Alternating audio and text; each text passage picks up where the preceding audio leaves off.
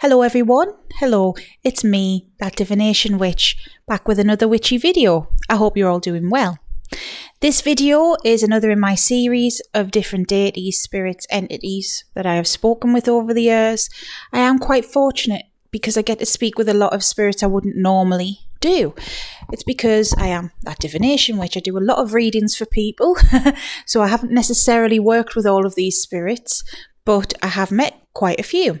Now, this spirit, this deity, was requested for me to talk about, and by several people actually. So, I'm going to talk about Baphomet, or Baphomet, as some people call them. Uh, and yes, let's get into it.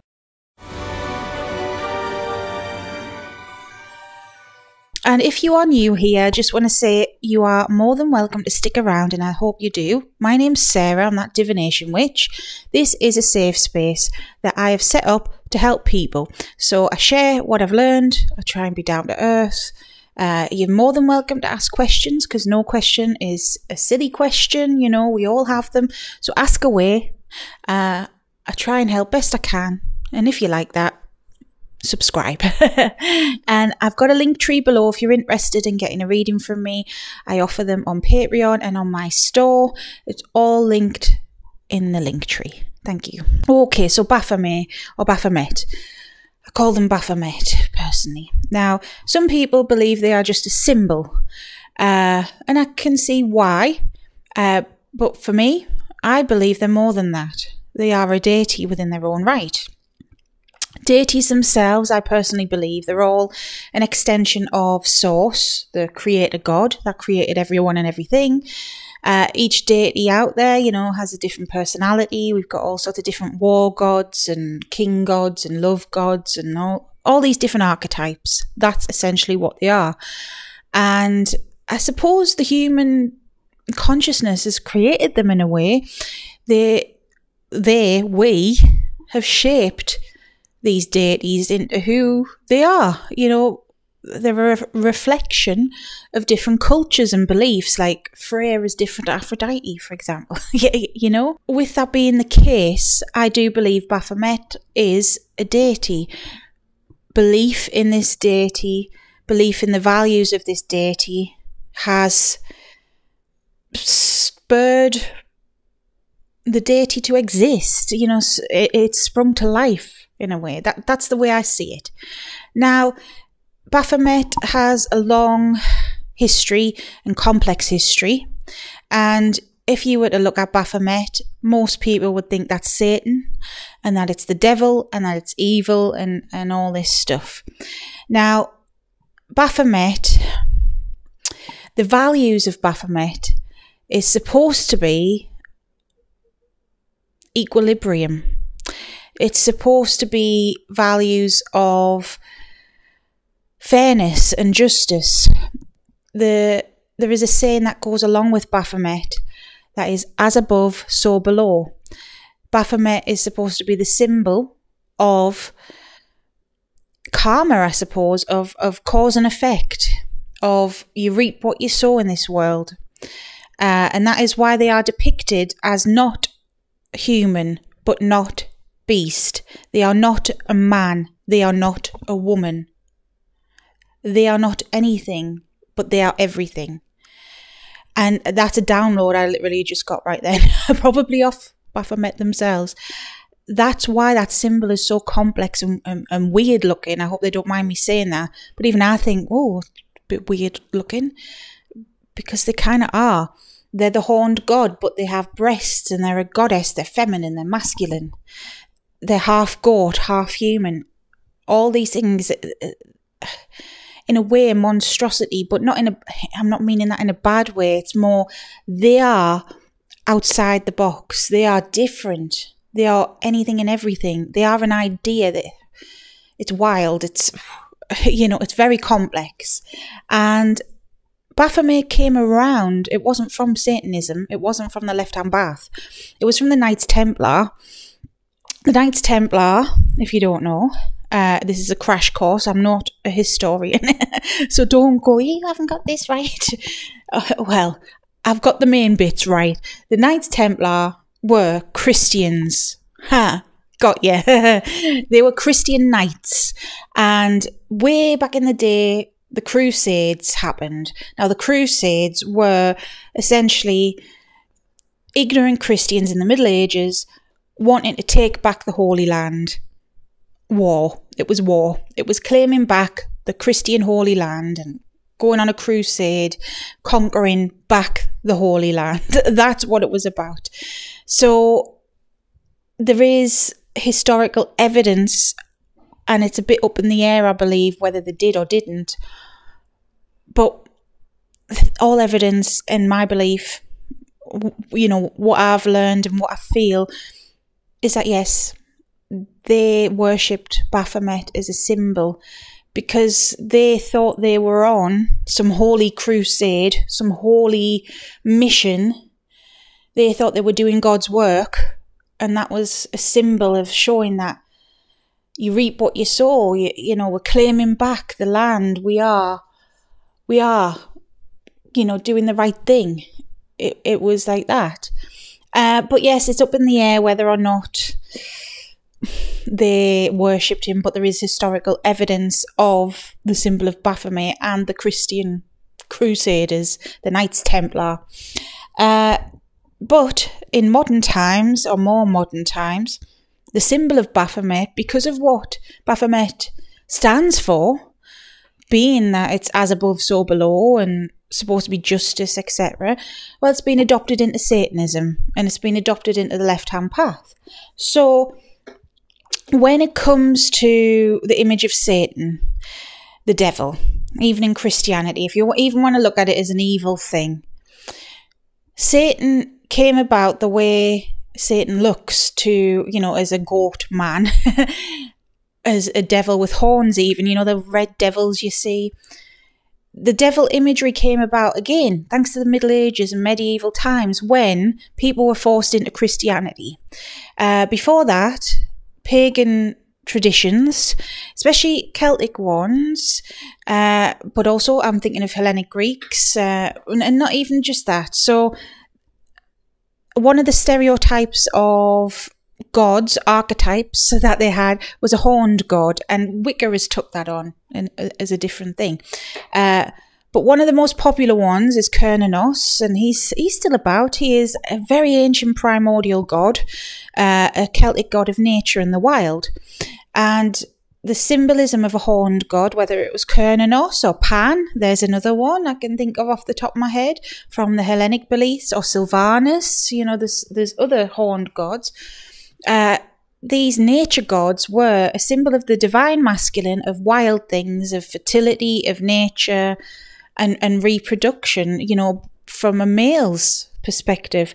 So the symbol of Satan, the reason I'm rambling on about that, it was a way of Abrahamic religions, main, meaning Christianity mainly, uh, to demonize any other belief that wasn't theirs. So they created an adversary image, and all horned gods were suddenly Satan and satanic and the devil. Now, Baphomet, I feel, is a controversial figure because, you know, Baphomet has a, a goat head, all right? And, and people kind of mix that up with Satanism because of the imagery. And Baphomet is a horned god, but they're also female. They are the ma- masculine and the feminine.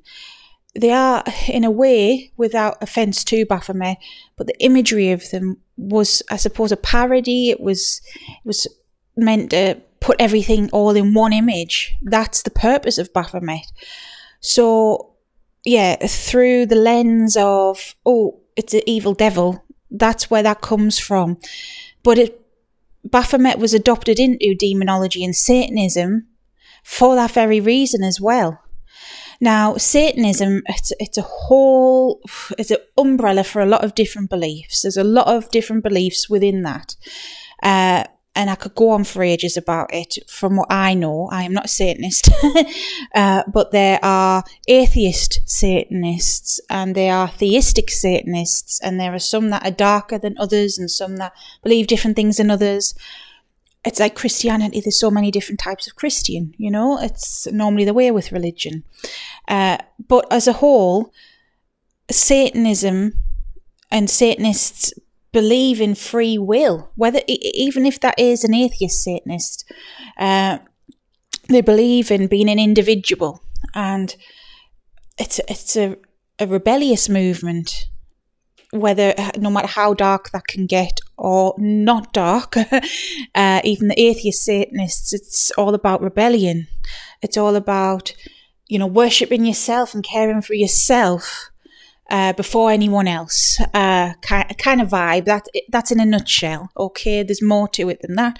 So it's understandable that they would adopt this figure. That one, all right, it looks like the devil. Yeah, whatever. We're going to take that on. And two, it's it's an act of rebellion. It's an act of saying "f you" to the patriarchy, to the other religions. "F you." He's our symbol. They, Baphomet, is our symbol. "F you." And that is how Baphomet is, to my understanding, being adopted in with the left hand path, with Satanism and demonology, etc. Now, Baphomet, like I've said, they have taken on their own entity. They are a god, they are a deity within their own right, the way I see them. And I have met that energy. And because they've been adopted into this pantheon, I mean, they were very powerful anyway as a symbol before that. Uh, I see them as up there in the hierarchy of, you know, the, demonic, infernal pantheons. They're up there. Now, they're not a member of the Goetia. They're not, I suppose, a demon per se, but I guess they are a left hand path deity, not just because they've been adopted into Satanism and stuff, but because of what they stand for. They're not all about self sacrifice or anything like that. It's more, no, look after yourself and, you know, as above, so below. If you're an a hole, you're going to have bad things happen to you. But if you're a good person, good things will happen to you. That kind of vibe. So I can see why they've been, you know, adopted in to the left hand path and that side of things. Now, like I say, I see them as up there in the hierarchy, and that means well respected uh, within that pantheon. That's the way I see the infernal divine. Well respected, well regarded, and their symbol is used a heck of a lot because of what they stand for and because of how they look. So, you know, even in mainstream, I've done a video about gothic fashion and things like this their image is plastered all over, it's everywhere. uh, and there's probably more to it than I even realise uh, in the worship of Baphomet. But they aren't inherently evil, but they aren't inherently good either. They are a neutral energy, a neutral spirit, uh, but also a spirit of rebellion, I suppose, of, of rebelling against social norms. And that in itself is enough to make people afraid. now, they're not out there wanting, you know, your soul bargains for, for you know, like when people say, oh, they sell the soul to the devil or all this dark stuff. To my knowledge, no, they don't want that. What would be the point of that? uh, I feel like they are a gatekeeper, uh, that they are a, deity that is all about it's like like lawful neutral energy. They're all about divine justice and making sure everything is fair and that the law of the universe is fair. Uh, and they have counterparts. They're saying they have angelic counterparts. Uh, Michael is technically one of them. He is the swift hand of justice on the right hand path. You know, they all work together. Uh, I know that's going to sound controversial of me literally coming out with that. I've never thought of that before. Michael and Baphomet working together, but they're all, all deities work together, really, the way I see it. We need both sides we can't have one without the other. So yes, I see them as kind of like a, a, gatekeeper to knowledge in a way and, and power and balance. Now like i say i've met them before. Uh, they've given me a message before. They've came through for other people. They normally uh, when they've come through for other people it's normally people who are going to be on the left hand path. Uh, they're normally like an introductory spirit into that. There's certain spirits that are, uh, and it's not because it's to lure you're in. If you're destined for that path, it's to to make sure that you are 100% okay with that and you're committed to that and that you really want it and you've got the right attitude. Uh, it's the same with the right hand path. There are certain spirits that seem to reach out more commonly than others. And again, Michael's one of them. If you are going to be doing angelic things, he's not the only one, but you know, there's a reason he's like the most popular angel because he is. He's he's doing their work. you get me? Uh, so yeah, Baphomet is like that. That's the way I see them. Now, how do I actually see them? I see them very much like the imagery. Uh, they they are not a man, they are not a woman, although I often give them the pronouns of he, uh, and I feel they're all right with that. But they came through very tall, very, very, very tall, about seven foot or something, mega tall, wearing a cloak, but probably naked underneath. I think that was just for my sake. uh, so I don't know if they had breasts or not. Uh, you know, that's a bit personal, anyways. I'm not that's just me. I'm not looking at everyone's boobs. uh, but yeah, I just saw them with the goat head, uh, wearing a long robe and very tall. That's the way I've seen them when they've came through. They speak in quite a deep voice, very authoritative. Uh, they don't like people being too frivolous. I, have done that before around them. I cracked a joke. I forgot what it was the first time I met them. I cracked a joke and I shouldn't have. And uh, oh, they got a bit offended by it. I don't want to say that a scaremonger, but they felt a bit disrespected by it, and uh, I was like, no, I'm I'm sorry. Uh, they accepted my apology.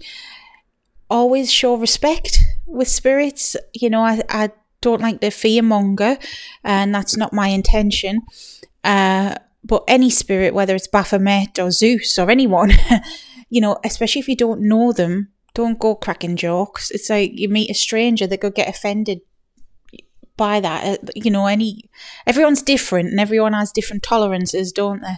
So just be polite. I've learned that. I was in a daft, goofy mood at the time, and I remember the feeling of peeing them off. I I can't remember what I said, but yeah, I was daft. I was daft.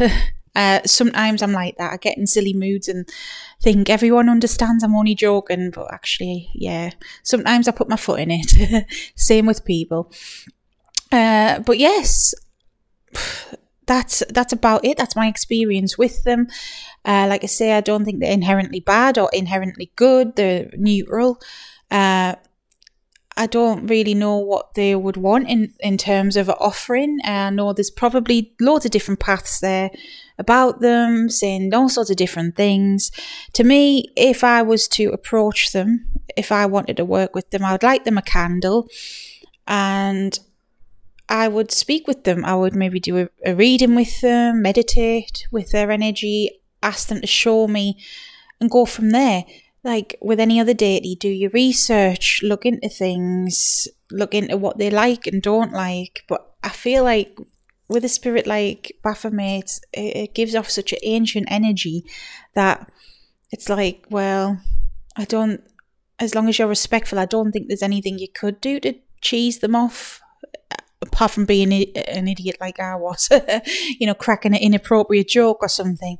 But as long as you're polite, mature, you've got nothing to worry about, you know, and try your best. And at the end of the day, if it's not for you, it's not for you. Say goodbye respectfully. Leave it like that. Uh, yeah, they're not like I say, they're not a, a, spirit, although they are associated with the left hand. They're not a spirit that is very left hand and very, you know, demanding of you to do certain things. Not to my knowledge, anyways. So, uh, yeah, I, I hope this has helped. You know, a couple of people have wanted me to speak on them. So, there we are. That's my experience. And, uh, yeah, until next time. Well, before I say it, if you've got anyone else you want me to talk about, feel free to request it. Okay, but yes, until next time, stay safe, stay witchy. Bye.